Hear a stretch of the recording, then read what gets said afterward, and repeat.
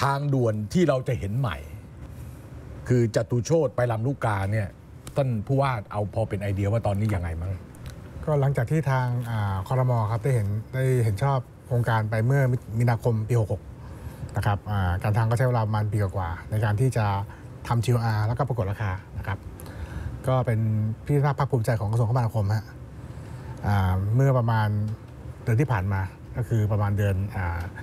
ต้นกันยายนที่ผ่านมาเนี่ยครับอ่าเราก็ได้มีการลงนามสัญญาลงนามสัญญาเรียบร้อยได้ตัวผู้รับเหมาแล้วนะครับก็ได้อิตาเลียนไทยนะครับอิตาเลียนไทยเดเวล็อปเมนต์เป็นคนสร้างใช่ครับไอโครงการไอตรงเนี้ยส่วนต่อขยายจตุโชติลำลูกกาเนี่ยมันกี่กิโล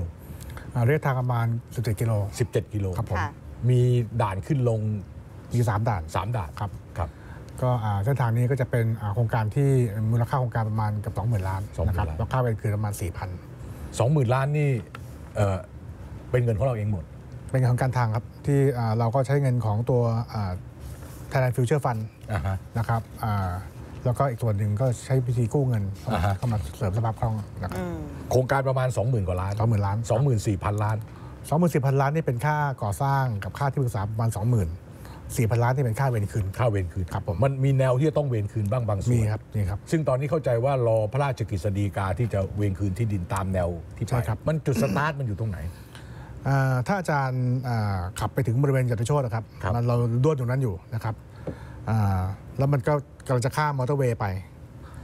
แต่ไอ้การความไม่ข้ามเนี่ยมันก็ลำบากเพราะว่ามีชาวบ้านหลาย ๆ คนที่อาศัยอยู่แถวบริเวณไทยทราชแถวด้านหลังแถวซาฟรีถเวินลนด์ถนนอภัยราชครับเขาก็จะลงจตุโชตแล้วก็ไปอ้อมใต้มอเตอร์เวย์อ่าโอเคโอเคโอเคแต่ตรงเนี้ยถ้าเกิดเรายืดออกไปได้ข้ามมอเตอร์เวย์ไปแล้วก็ไปลงเชื่อมกับอาทัยราชเลยเชื่อมไปเลยครับอ่าฮะก็จะทำให้รถบริเวณจตุโชต ไม่ติด เบาแต่ตอนนี้มันยังติดอยู่ ติดมากค่อนข้างจะเพมากราะว่าเลยคมัรันบคนมันต้องอยากขึ้นทางด่วนอยากลงใช่ทางด่วครันบแต่มันต้องไปวนไปวนมาใช่ครับนะฮะ ผมว่าโครงการนี้ก็จะแก้ปัญหาจราจรตรงบริเวณจตุโชต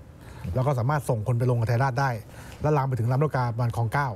ลำลูกกาคลองเก้าใช่ครับ อันนั้นคือปลายทาง เป็นปลายทางครับ มันจะช่วยให้ถนนลังสิตนครนายกเบาด้วยไหมอ่า ยังไปไม่ถึงแต่เราเราก็เชื่อว่าจะทำให้ลูกค้าลงบริเวณอ่านังสินทุกคานายกจะลงมาใช้ตรงนี้มากขึ้น